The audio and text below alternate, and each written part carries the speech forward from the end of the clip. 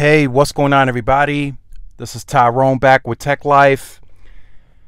And AT&T and Verizon have to be very, very careful on these next moves that T-Mobile is going to make. Right, giving back the T-Mobile way. So you guys have heard me say this uh, several days ago, right? We talked about churn and how it is going to be very important to protect your churn, right? T-Mobile is getting more aggressive. They're going to go on they're going to continue to go on the offensive as they try to hit their guided targets by 2025. Verizon and AT&T they just have to realize that. I don't know what else they need to see in their projections and numbers for them to start acting a bit different. And they're really going to have to, especially Verizon, right?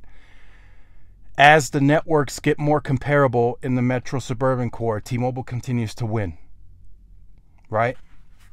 They are able to invest more as a combined company with Sprint. And that helps T-Mobile, of course, gain a better network in areas where they already had an existing network. Right? They were able to to um, extract some Sprint sites at the uh, you know add more density where needed. They were able to add spectrum, and don't forget, we're approaching 300 million pops with 2.5 by the end of this year. Right? T-Mobile has, and this is a fact. T-Mobile has another 40 megahertz of C-band across 225 million of those pops.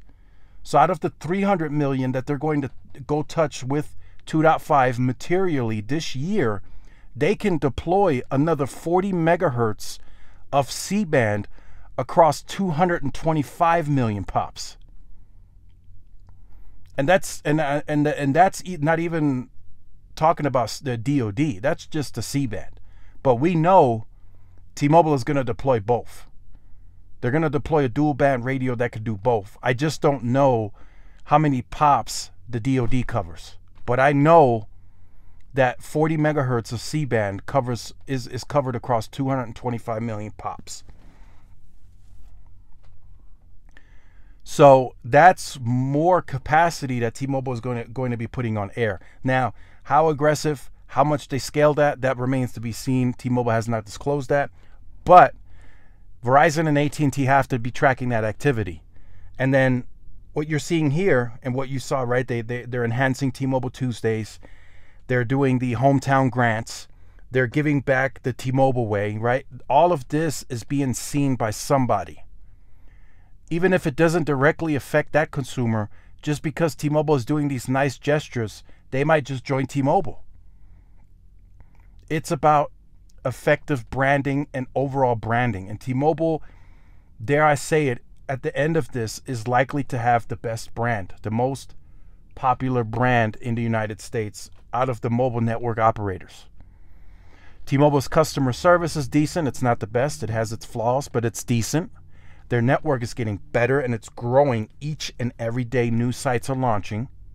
Now, again, they have another 6,000 sites to work through, as we discussed in the last in the in the other video, which they're like there's going to be a good chunk of that done in 23, and they're going to have to deploy more in 24. T-Mobile knows that. But each and every site of those new sites that goes live, T-Mobile gains more share. Right? Their brand is very effective. They don't go into these areas guessing if they're going to take share. T-Mobile knows they're going to take share because their brand is good, their pricing, the value is there, and the network is there. They're going to take share. The only question is how much share are they going to take? It's not an if anymore. They are wherever they wherever they put retail distribution, T-Mobile is going to take share. Right across the Montanas, they now cover like 97% of the pops, which is a big accomplishment for T-Mobile. some port outs now at 25 to 1 right? T-Mobile is taking in 25, they lose one. That's how massive of a share taking they're taking in these parts. And they're just getting started. This is still very early on.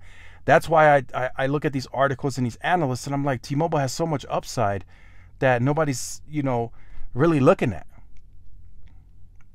So again, T-Mobile is going to protect their churn, which is a big deal in my opinion because it's going to make it harder for Verizon and AT&T to pull those customers away. Before it was fairly easy for Verizon and AT&T. They had the bigger networks, the better networks, better indoors, you know, better at the larger venues. But T-Mobile is closing that gap each and every quarter.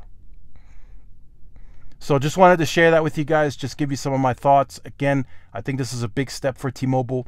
They are analyzing and they are acknowledging very quickly on the next steps that they need to take when it comes to competing, right?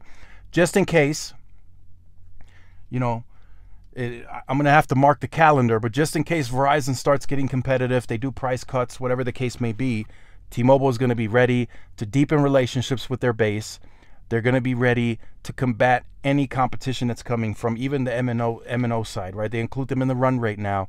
So they're going to be competitive regardless of, of how the industry shifts. T-Mobile is going to remain competitive today.